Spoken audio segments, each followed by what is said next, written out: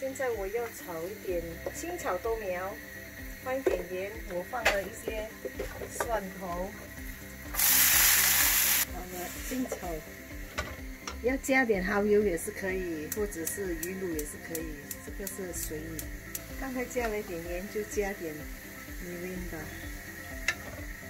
少许就可以了，大概半茶匙这样。这是豆苗，炒好了豆苗，拿来配呃锅饭一几次就好了。